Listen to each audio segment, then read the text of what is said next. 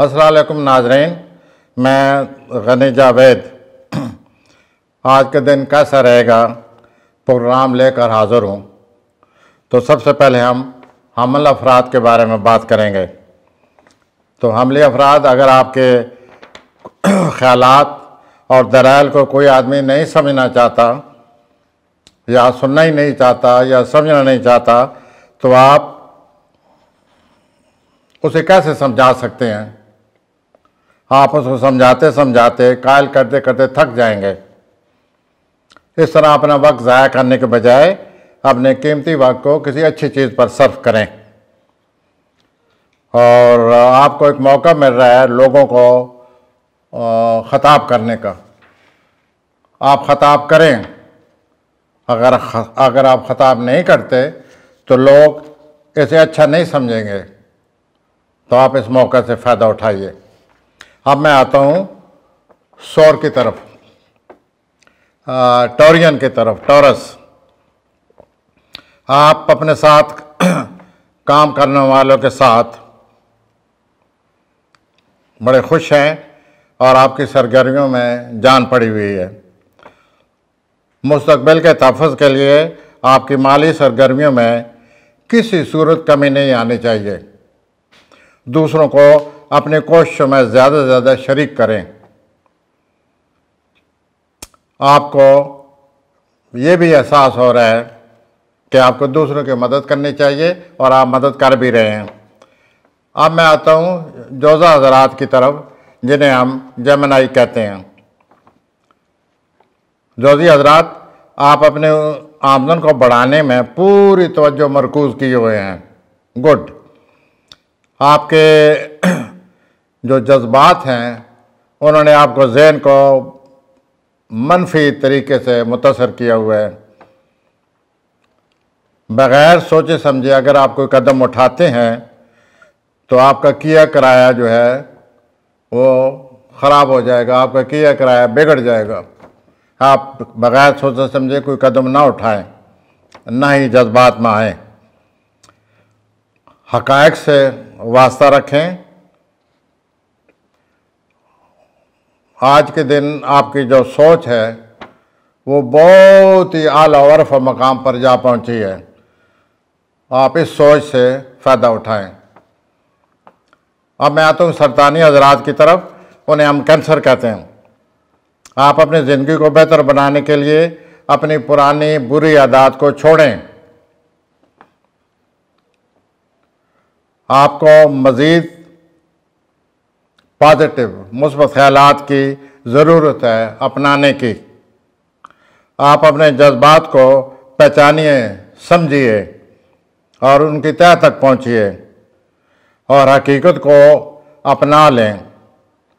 आप सोचिए, आपको किन रुकावटों ने परेशान किया हुआ है।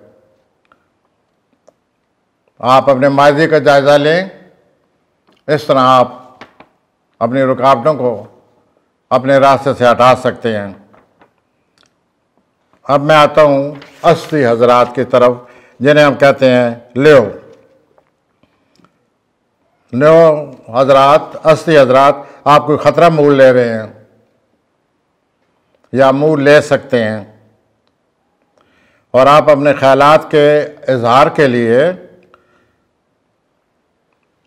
कोई नया माहौल आप तलाश कर रहे हैं, जिससे आप अपने ख्याल का इजहार कर सकें। आपके लिए आज का दिन गैर मामूली दिन है।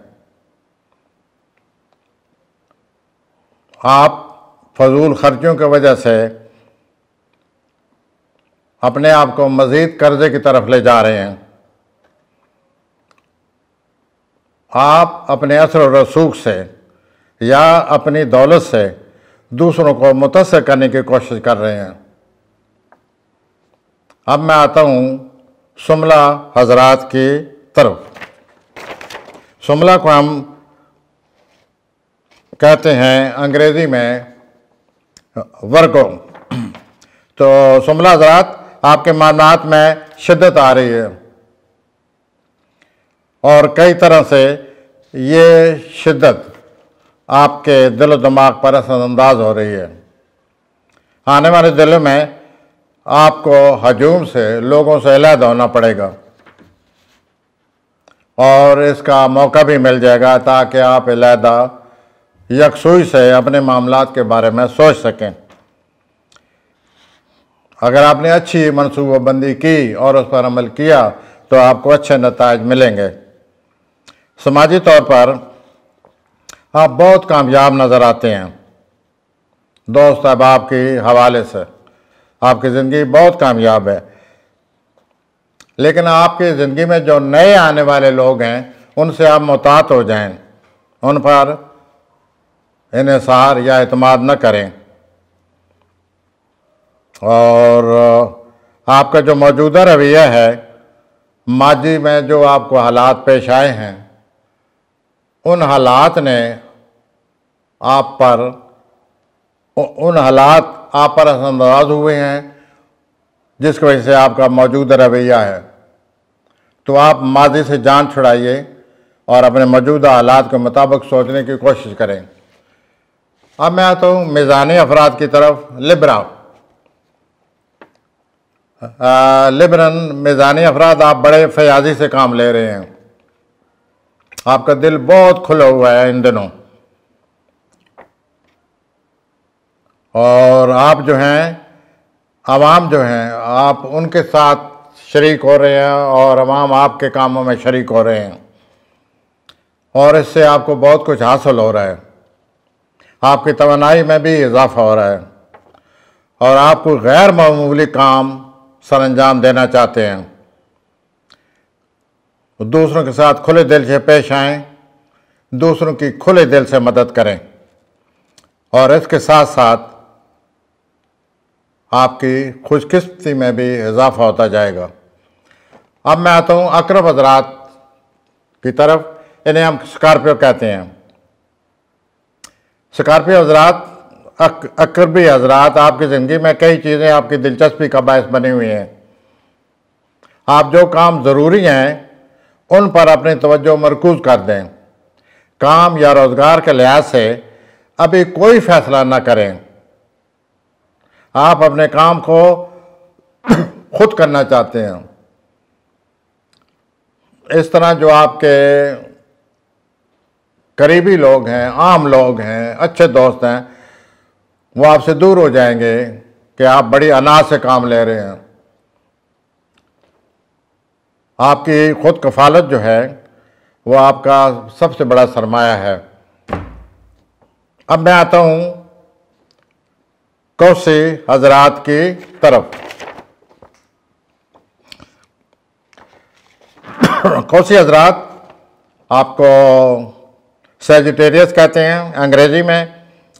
मौजूदा सैारों को बहस, आप कोई नुमाया काम कर रहे हैं। लेकिन इस तरह, इस नुमाया काम के करते करते आप बड़ी उलझन में भी गिरफ़्तार हैं। इससे आप में नाकामी का एहसास पैदा हो रहा है। आप अपना मैार इतना बुलंद किए हुए है कि आपके लिए वो मसला बन गया perfection is impossible my dear Sagittarian perfection जो है that as an ideal it is good तो आप इस तरह अपने मैार को इतना बुलंद ना करें जिसको आदमी हासिल ही ना कर सके। लोगों को आपकी तरफ़ झुकाव है। चुनाचे आप उन लोगों के साथ इस तरह खड़े नहीं हो रहे, जिस तरह के आपको खड़ा होना चाहिए। और आप अपने आप की, अपने आप की बड़ी सख्त तनकीद कर रहे हैं। अपने आप के साथ सख्ती कर रहे हैं। अब मैं आता हूँ जद्दी हजरात की तरफ़, जिन्हें हम अंग्रेज़ी में कैप्रिकॉन कहते हैं आप अपने गैर मुस्तकिल मजाजी को ख़त्म करें। इस तरह आप अपने माली मामलात में अपनी गैर मुस्तकिल मिजाजी को ख़त्म करने से आपके माली मामला बेहतर हो सकते हैं। माली तौर पर आपका एक बेहतरीन वक्त आने वाला है। आज आपकी जज्बाती तोानाई और जोश खरोश में कुछ कमी आई हुई है। आप अपने हालात के मुताबिक अपना मूड बनाएँ। जहनी तौर पर आप बड़े तेज़ हैं, लेकिन जोश खरोश की कमी है। अब मैं आता हूँ दलवी हजरात की तरफ़, जिन्हें हम कहते हैं एक्वेरियस। आप पर खिंचाव तनाव है, ऐसा भी खिंचाव तनाव आप पर आया हुआ है, किसी मसला की वजह से। इसके बावजूद आप दूसरों की रहनुमाई भी कर रहे हैं। और आप इस तरह दूसरों की मदद करके खुश हो रहे हैं। आप दूसरों को अपने तख्लीकी ख्याल में शरीक करें। आपको यह मौका मिल रहा है, आप अपने तख्लीकी जो ख्याल हैं, दूसरों को इसमें शामिल करें।